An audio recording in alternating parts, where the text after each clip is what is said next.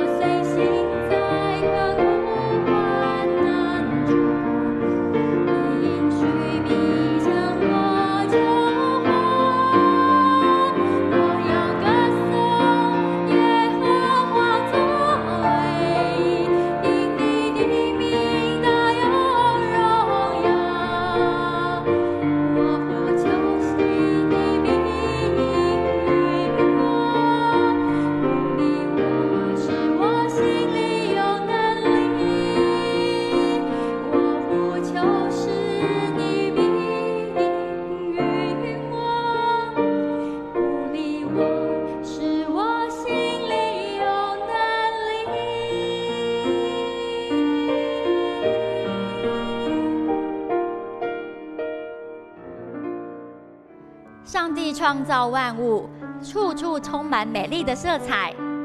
上帝也拣选了你我，成为上他的儿女。孩子们要常常感谢上帝的恩典，尽力的与人和睦相处，也要能与人合作，让人因着你的好行为，更多认识创造你的上帝哦。野地花朵。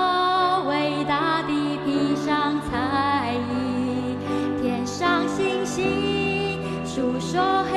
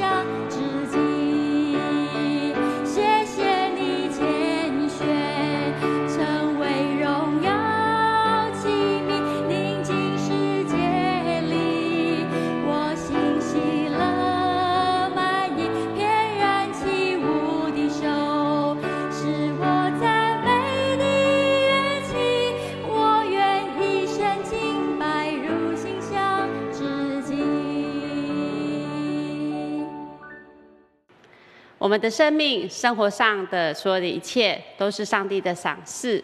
让我们一起带着感恩的心来奉献。兰泽会来唱奉献的西瓜。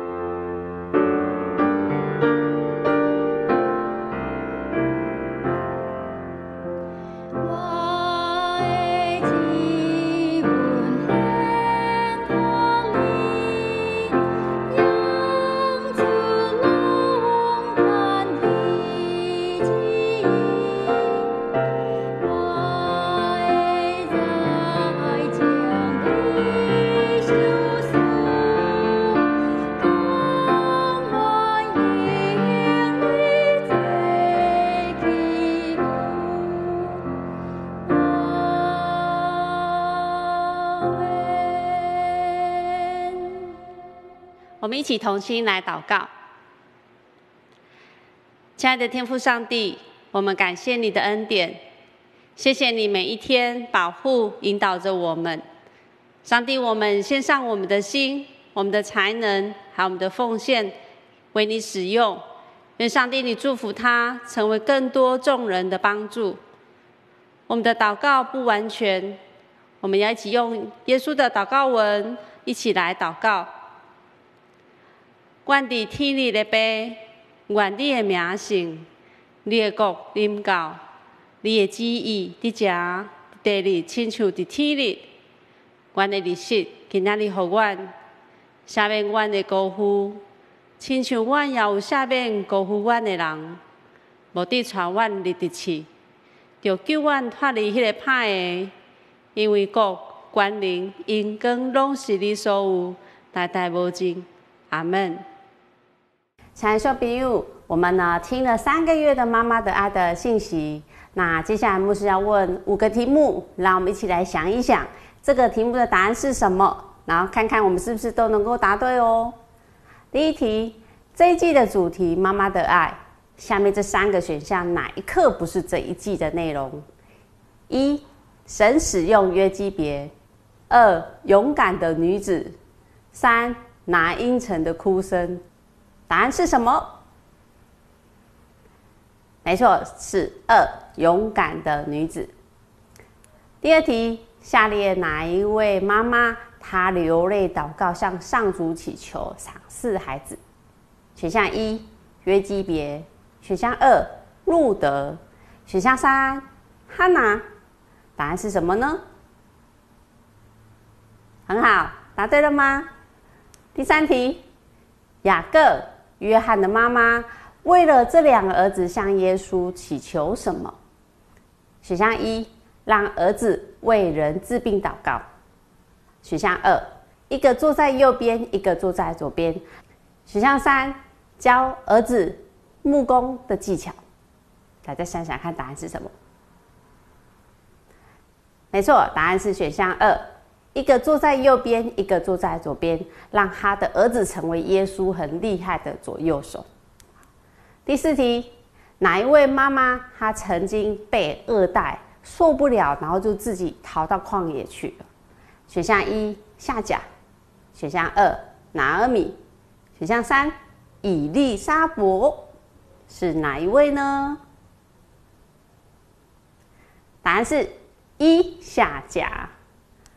最后一题喽，我们一起来想一想，提摩太的妈妈和外婆对他有哪一些的教导？一、圣经的教导；二、信仰生命的教导；三、祷告的学习。想一想，答案是什么？答案好了吗？好，这一题答案是以上皆是。你有选到选对了吗？还是你很犹豫，到底选项只有一个吗？在这一季的妈妈的信息里头啊，我们感受到，哎，妈妈对孩子的爱真的很深、很广、很很深厚。从这些妈妈呢，她们渴望有自己的孩子，然后而且希望自己的孩子可以得到很多的祝福，而且是完整的祝福。并且呢，妈妈在生活当中啊，也会为孩子做东西或是做衣服，并且看到自己的孩子啊遇到困难的时候呢，他们会很努力的想为孩子想办法，甚至当孩子自己遇到危险、伤心、危险的事情的时候，他们真的是相当难过跟痛心哦，或是诶着急、焦虑这些的事情，真的都让我们感受到。哇，妈妈真的很爱孩子。有些时候呢，我们也看看得到妈妈呢，她知道，诶，这个是好事情，这个是祝福人的事情，她也希望她的孩子也会有拥有，所以她也会很积极，想要去为她孩子来寻找，或是想为她的孩子来争取。牧师介绍的这些妈妈对孩子的爱。你可以联想起这些圣经当中这些的，呃，圣经内容的故事情节吗？真的，你看有很多圣经人物中的妈妈，他们呢，为了渴望有一个孩子，其实他们真的是很等待许久，而且也祷告许久。无论是萨拉啊，或者是哈娜，他们真的都是为着这怀胎十月中的孩子。他们都相当的渴望，然后积极的祷告，并且每一天每一天向前走的时候，他们的心中都一直孕一直一直孕育了满满的爱在当中。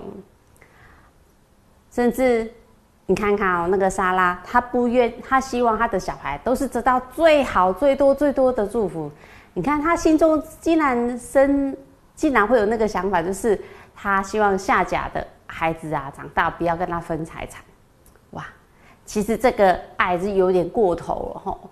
其实每一个妈妈爱孩子的心是对的，但是她嫉妒那个下家的小孩，害怕他的小孩跟他的小孩分很多祝福、很多财产的时候，他心里产生那个嫉妒的心。哇，这就是人的软弱的地方。父母在爱孩子的心当中，我们也可以看到，像哈娜，他会为他的小孩。每一年做一件衣服哦。虽然他跟他的小孩不能常常见面，因为萨摩在圣殿里头服侍上帝，可是他做这个行动也表露出他他对孩子的爱。接着，在表露出对孩子的爱当中，我们也看到约基别啊，你看他们那时代的环境真的是很紧张、很危险，可是呢，他却相当的勇敢。想尽办法让摩西可以在小 baby 的时候就能够平安顺利的生活下去。这些真的是展露出妈妈对小孩的爱。所以在孩子啊从一出生那么小的 baby 时期，从照料他、做的，呃，无论是喂奶瓶啊、洗衣服啊，或是换尿布啊，甚至是很忙碌的每一个大大小小的事情，然后来长大一些，开始跟孩子说故事给小朋友听，那也陪他写功课，陪他一起整理书包，陪他一起帮他打扫房间，甚至是到后来，小朋友开始大了一些，然后呢？学校所发生的事，无论是啊跟同学的吵架，或者是不小心做坏、不小心动手造成同学的呃受伤啊，或者是有点争吵的时候，即便有这些事情的发生，其实妈妈的心也是很担心，要去帮忙孩子去面对这个错误的事情，然后带着他。勇敢的向勇敢的向同学说对不起，甚至是承认自己做错的事情，然后陪着他一步一步成长。其实这每一个点点滴滴的的生活中发生的事，都是妈妈对我们的爱。不知道秀斌，你看见了吗？在地球的另一端，有一对姐弟的故事。他们啊，跟我们一样，每一天呢都有该做的事，每一天呢也。都会遇到可能会有的意外，或者是不确定的事。但是呢，他们的故事到底怎么发生了什么事？我们一起来看。他们两姐弟呀，跟我们一样，是不是？你每天早上睡觉醒来的时候呢，是自己定闹钟吗？还是还是需要妈妈或爸爸来叫你起床？这一天啊，他们也是睡得很舒服啊，又要起床上学了。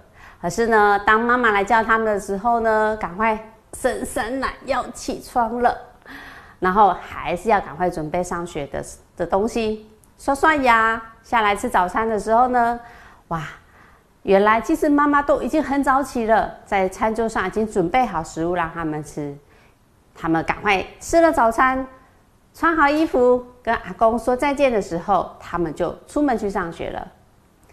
两姐弟呀。边走路边上学，你觉得他们会很乖乖，然后很谨慎、很注意时间就慢慢走吗？没有诶，他们竟然在一路上做了很多很好玩的事。他们呢，经过公园，看见很漂亮的草地，竟然玩了起来，在草地上翻滚呢，滚着滚着，沿路看到，诶，地上有小水坑，他就把叶子丢下去水坑去玩。哇！然后让它很像一艘船这样漂流着，然后沿路走走走走走，走到半路上呢，看到同学还一起打招呼以外呢，又沿途玩了起来。哇，有一点点嗯，很欢乐哦。不知道秀比用你每天上学的时候也是边走边边玩上学吗？还是你会边走边跑上学，甚至是边玩到忘记，然后？迟到了时间会不会这样？终于来到了学校，跟我们一样有固定的课要上，还有老师所交代的事，我们也要照这样遵行。然后呢，跟着同学玩，当然也是要注意安全呐。然后也不可以故意去逗逗同学，或是故意去取笑同学，甚至是玩的太过头，然后让大家都受伤，这些其实也是不行的。在学校当中，是不是老师也会提醒大家要遵守什么，要做什么事，然后要注意什么事，是不是呢？其实你们呢，我们每一个小朋友跟这一对姐弟一样，其实在学校里头虽然可以学习，也可以玩，但是也是有些事情要遵守，才不会让大家都啊受伤。接着放学之后呢，这两姐弟呀，他们是走路回家的。他们沿路呢就走啊走啊走啊，但是小朋友，你有没有发现这个路上啊，其实有一些些特别的人，或者是有可能是有危险的人呢？他们两姐弟边走边走，不知道他们有没有边玩？因为当我们边玩的时候，也许就眼睛没有注意前方，就会忽略了可能危险的地方。哇，这个路路上啊，有一个。中年男子站在路边，你有没有看到啊？还有啊，当他们边走边玩的时候，诶，其实身边不只是只有学生而已，还有一些大人或是一些哥哥姐姐，一些陌生人。在他们两姐弟的心中，不知道他们有没有去注意到这些陌生人，然后注意自己的安全。走过马路的时候，哇，有那个导护老师说：“哔哔哔，赶快赶快赶快过马路，快要变红灯了。”不，他们在老师的提醒下，终于怎样？快快快快步向前，然后可以安全的过这马路。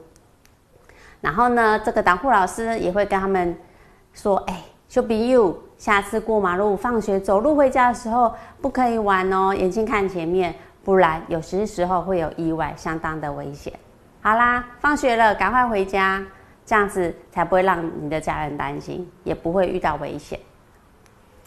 哇，终于走回到家门口，门口呢已经有阿公在等他们放学回来，他们很开心了，牵着阿公的手呢，叽呱叽呱一直讲很多学校发生的事。